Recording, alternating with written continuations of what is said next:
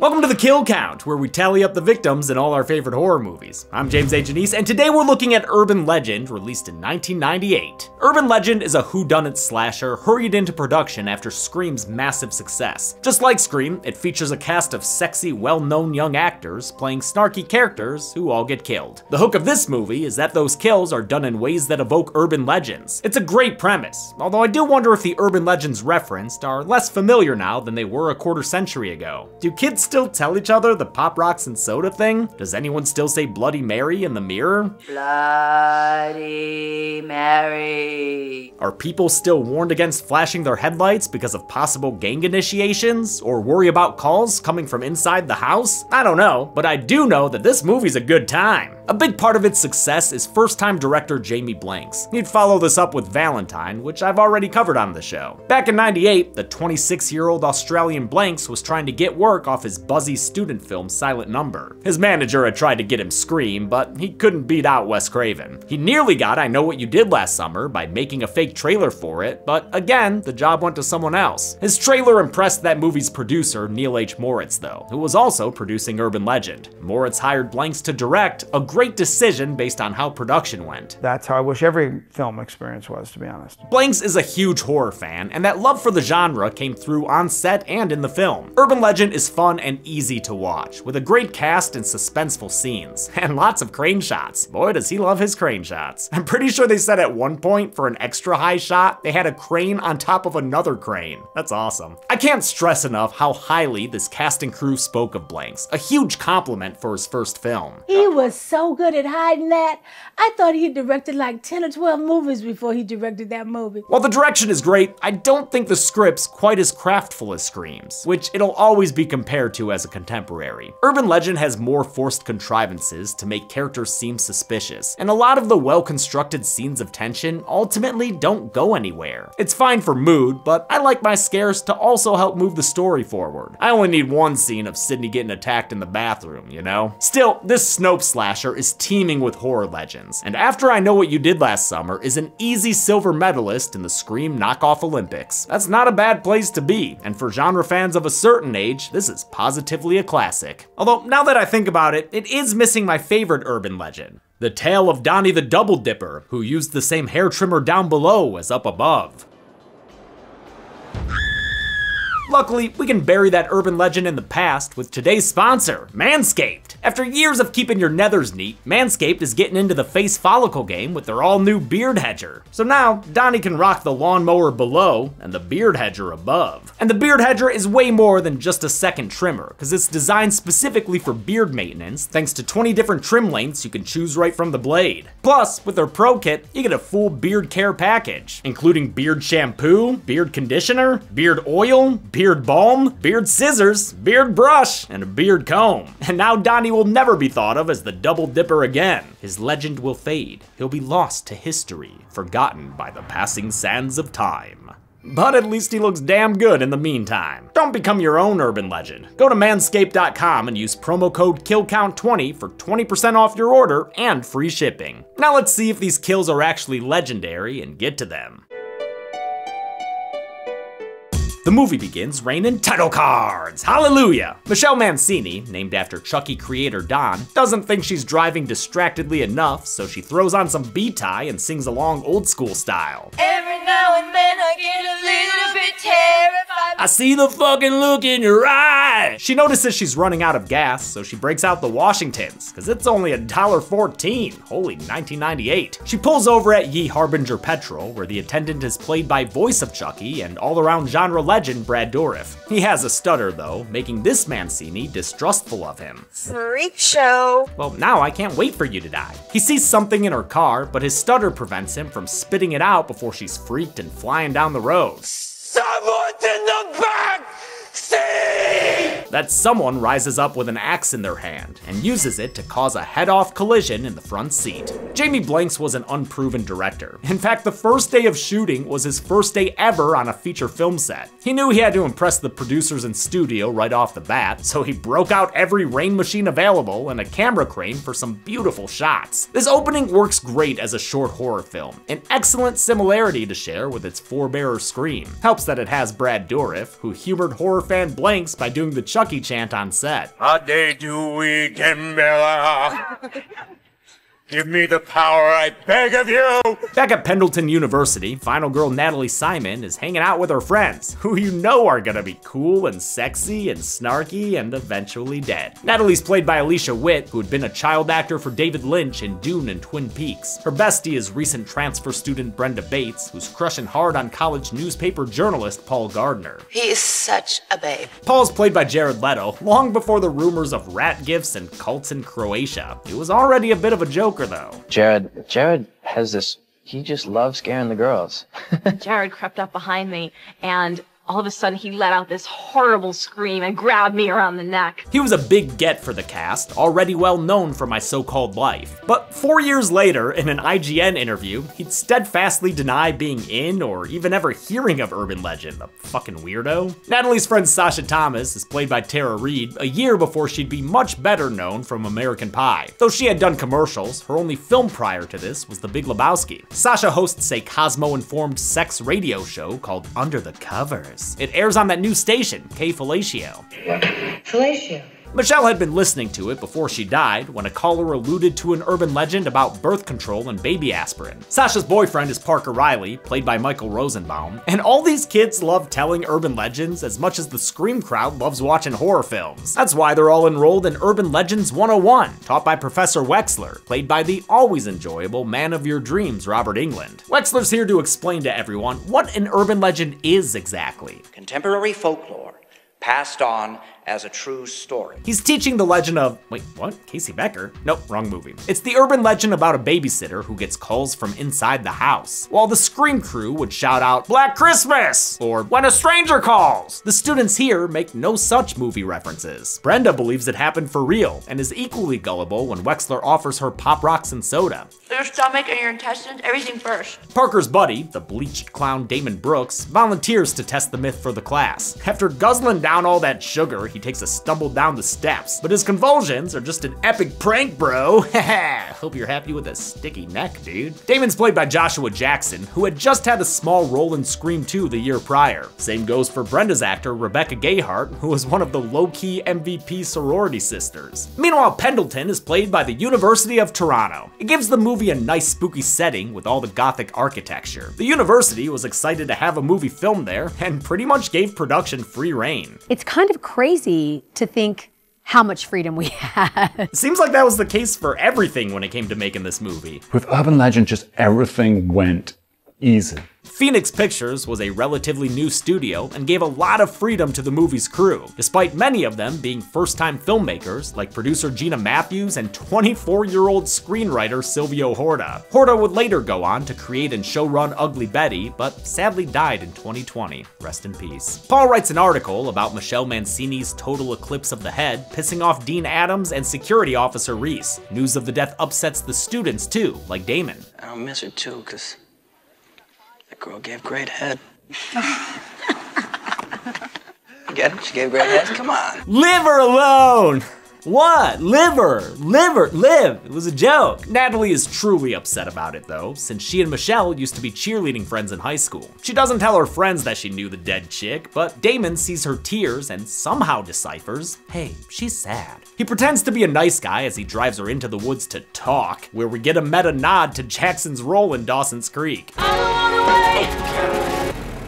Then he tries to deflect Natalie's trauma into getting his dick wet. She punches him, he calls her a bitch, and it's about then he decides to go pee, which is kind of the opposite of getting your dick wet. While draining the lizard, he's accosted from behind. Pretty soon Natalie runs into his parka-clad attacker. She locks them out and starts the car as a rope is tied around the trailer hitch. When she tries to drive, she hears squeaking on the roof, and it ain't cause Damon's installing a moonroof in his shaggin' wagon. Turns out he's being hanged with the rope that's attached to the car. As the car moves forward, he's pulled up higher. It's a reference to an urban legend, of course. Damon is killed when Natalie keeps trying to drive away, and his body ends up crashing through the windshield. The stunts in this movie were headed by coordinator Matt Berman. For Damon's death, they used a techno crane to follow Jackson as he was yanked up with a harness and cables. They had to do a whole bunch of shots a whole bunch of times. Seems like he had a good time doing it. Natalie goes to campus security officer Reese for help, interrupting her special time for coffee and contemplation. I love how all these students seem to know Reese on a first name basis. Reese, I saw his body. Thank you, Reese. Reese is played by Loretta Devine, who turns out was overqualified for the part. And I'm not even talking about her starring role in Dreamgirls on Broadway. Devine was a dormitory director at Brandeis University in the 1970s. I had some insight naturally on what it was like to to to run a facility to check on the young people that are around you and just how goofy and how some of the dumb stuff they do. With Damon's body missing, Natalie has no proof for the faculty or her friends. Parker assures her Damon just totaled his car as a harmless prank. Don't you guys get it? Come on, it's just like that urban legend. Natalie realizes Michelle Mancini also died in urban legend style, so she starts to put this movie's premise together. It's like someone out there is taking all these stories and making them reality. Natalie's on edge, and it doesn't help that her Castle Dracula dormitory has got a creepy janitor slinking around. Also doesn't help that her vampire roommate Tosh is always angrily smoking and angrily banging dudes in their room. Shut off the fucking light! Then why even have a fucking light at all? These are two more horror vets, with the janitor played by Julian Richings of Cube fame. He'd go on to originate Three Finger in The First Wrong Turn. Tosh is played by Danielle Harris, of course, kid and adult actor in various Halloweens, and a pretty good pumpkin carver. Tosh is so goth she spends all her time on goth4goth.com. Not even shitty 56k can keep her from making clip art connections. She starts I-emming with someone who says they're real close by. In fact, the instant messages are coming from inside the room. When Natalie gets home, she hears a bunch of moaning, but assumes Tosh is getting point would She doesn't bother turning the lights back on before she goes to sleep. It's not until morning that she learns Tosh was being murdered, and ain't no web redemption gonna bring her back.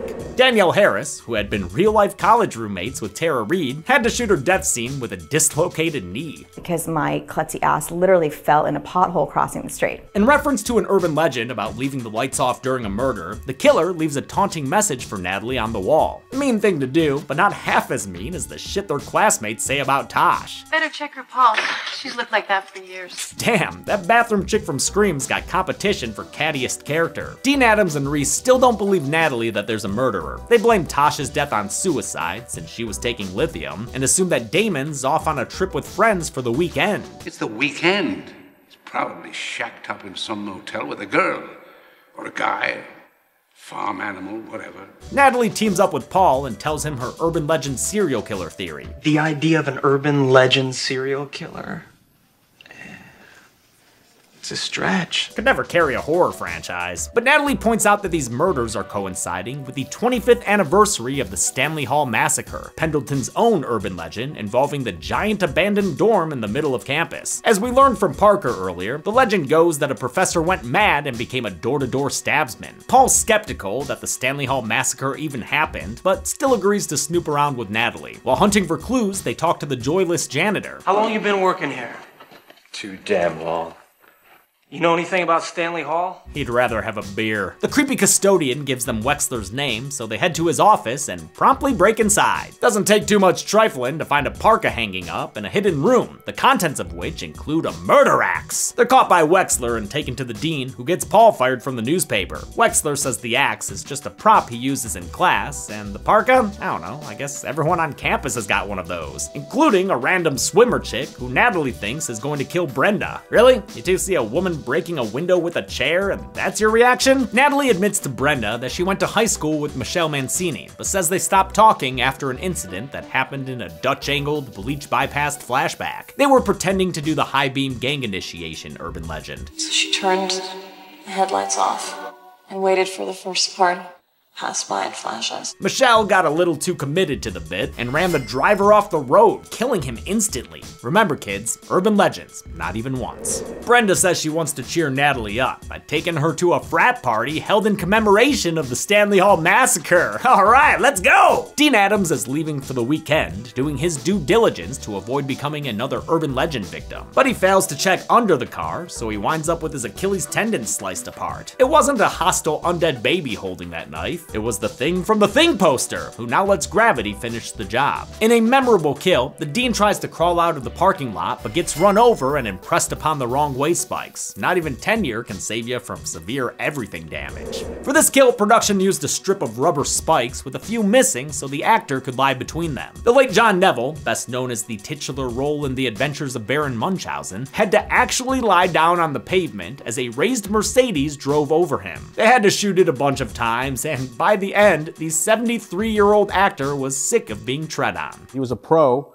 He got the scenes done, and as soon as he's finished, peace out, I'm out. He used more colorful language than that. Go fuck yourselves. At the Massacre Anniversary frat party, we get more legends sprinkled in, like the one about the Scream and Love roller coaster. That scream?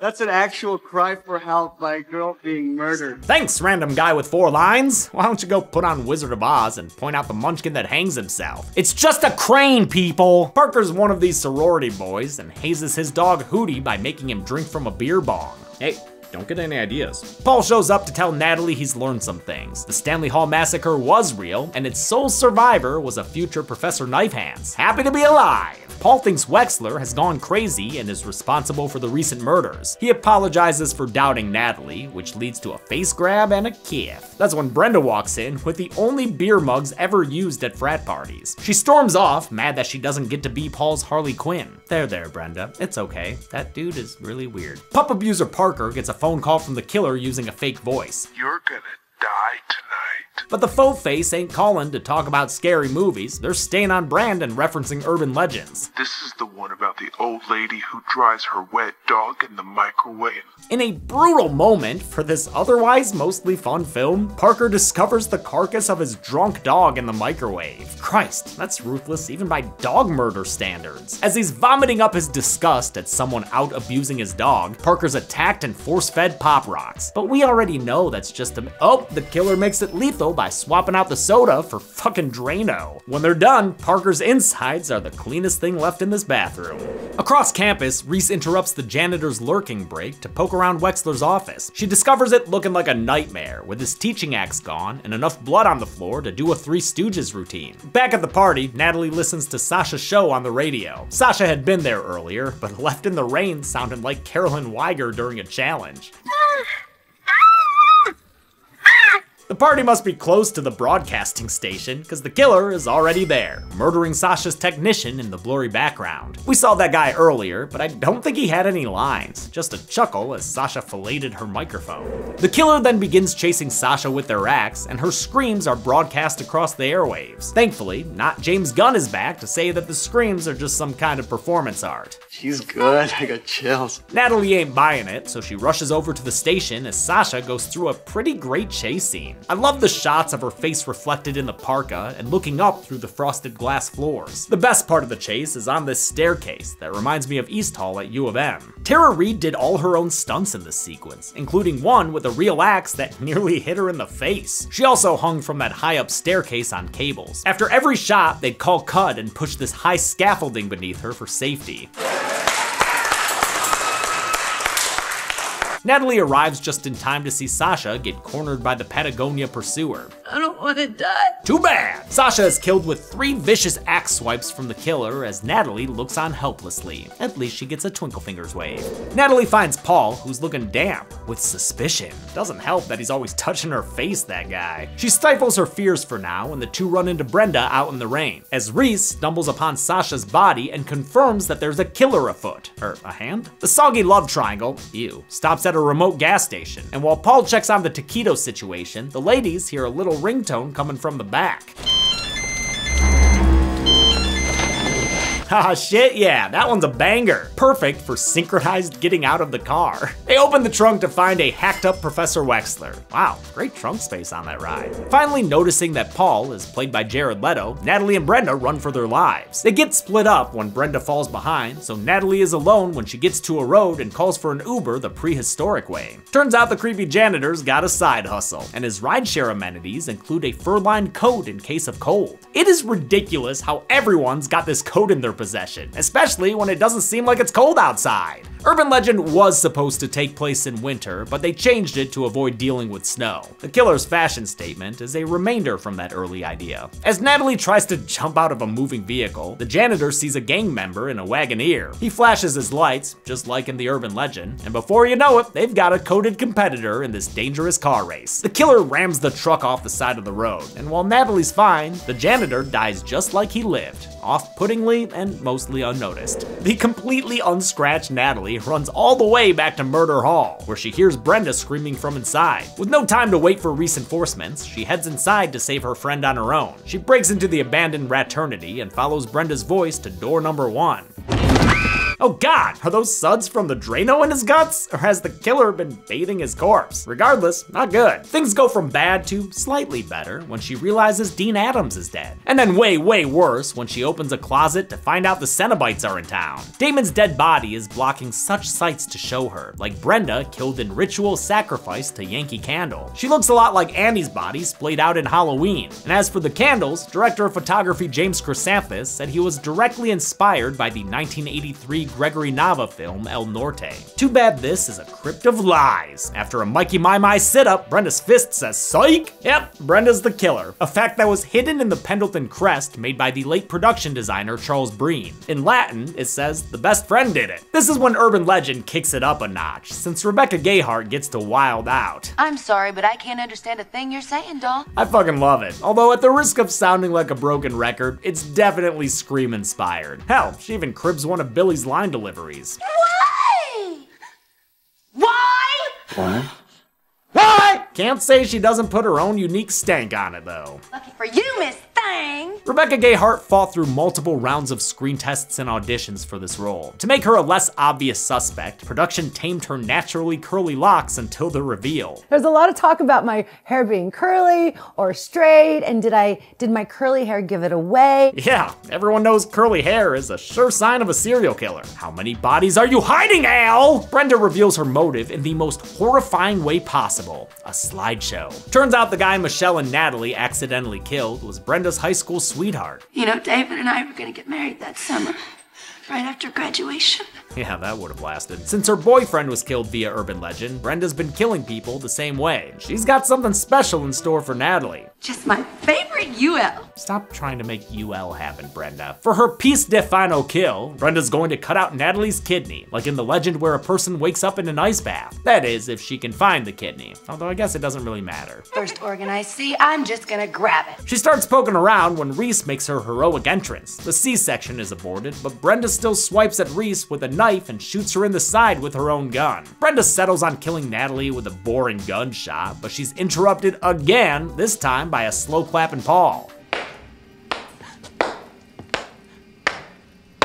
Very well done. Shut up, Paul. He tries to use Brenda's love for him to say he's on her side, but she doesn't fall for it. Not that fucking cute. While she's eeny meeny minying her next kill, Reese mows her down with a gunshot from the floor. Natalie then grabs the gun and does the final honors herself, shooting Brenda out a window where she falls in a prom night sort of way. I love the little moment of honesty from Nat here. You alright? No. They call for medical help for Reese and take off in the rain to get meta with the ending. So if this is an urban legend, at what point do we get to the twist? Right about now, motherfucker! Brenda's back to her axe swinging ways, but Paul slams the brakes and sends her flying out the windshield, over a bridge and down into the water, in a terror train sort of way. They watch as Brenda's body floats on, alright. Huge props to Rebecca Gayheart's stunt double Shelly Cook, who had to fly through a windshield and do this fall off an actual bridge. She also had to dive through a boarded up window in the Stanley Hall scene and take another fall when they cut to the action outside the building. Cook continues to work in stunts, often as a coordinator, and was involved in Saws 5 through Spiral. Paul and Natalie share a wet embrace that dissolves into a scene in the nearby future. We're at a new college where everyone's dressed like they wandered off the set of a Smash Mouth video. This new group of kids is also weirdly obsessed with urban legends, which now include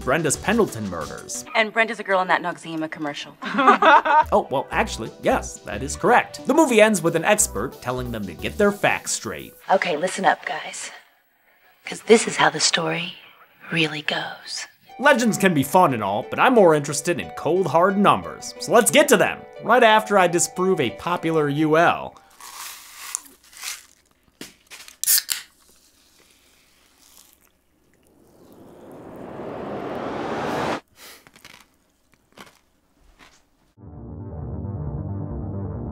Ten people died in Urban Legend. Seven were men and three were women, giving us a chilly blue pie chart. Brrr. Hey, pie chart, better put a park on. yeah, that's better. I was surprised to learn we've only seen this count and gender breakdown four times before on this show. I thought it'd be more. With a runtime of 100 minutes, that left us with a kill on average every 10 minutes even. I'll give the Golden Chainsaw for coolest kill to Dean Adams. It's a great way to use something we're all at least a little scared of in real life. Intrusive thoughts telling me to shift into reverse. Dull Machete for lamest kill goes to Sasha's sound engineer. Poor guy spent his Friday night devoted to campus media, and this is how he gets repaid? And that's it. Urban Legend came out in 1998 and made a higher profit for Phoenix Pictures than any other movie they had made at that point. It ensured a sequel would be made, and I'll look at that next week. Until then, I'm James A. Janisse. This has been The Kill. Thanks a lot for watching this kill count. This is our dog Molly, and if you didn't meet her already, then I know you didn't watch the Frogs or Bones and All kill counts or any of the recent podcasts, you fake fan. Nah, I'm just kidding, it's cool. She's a sweet little baby when she's not fucking barking, and uh, her and Lucy still very skeptical of each other. We are slowly bribing them to love each other with treats. Okay, you've earned your rent this month. I want to thank some patrons like Kelly Quinquis, Stephen Sherrier, Romy Kazi, Kieran Doran, Kyle Sargent, Jasper Lacey and Linda, Cerise Nova, Cynthia Zhang, Andrea Jacobson, Rio Vivo, and Jason Pendergast. Got a lot of catching up on those to do. Thanks everyone. Be good people.